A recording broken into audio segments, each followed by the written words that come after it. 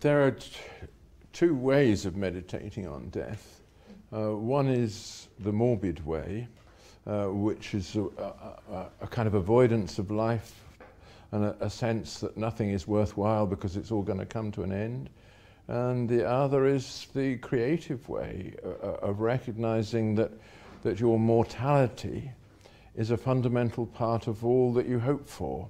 You know, when we fall in love with another, when, I, when one falls in love with another person, one is consciously taking under one's care a, a mortal being. And it's the sense of her fragility and her mortality which is fundamental to the, to the love that one feels towards her, in, in my view.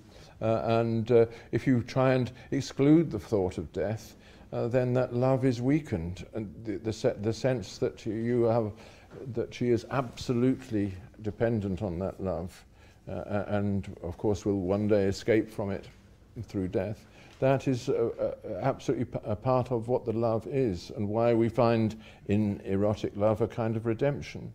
That's, um, that's what I would say. But, um, I, I would say as well that it's an, it's an aid to concentration and focus.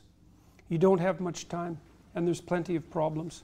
And so, you, and, and, and it's going to be a hard road no matter what. And so, get at it. You know, for years when I was in my 20s, the first thought I had when I woke up in the morning was, life is short. And really, literally, it happened to me for years.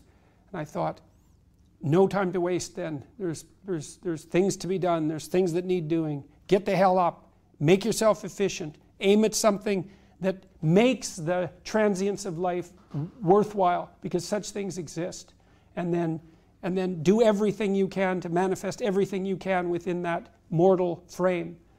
And, and it, it adds to life a, a seriousness that would otherwise be absent.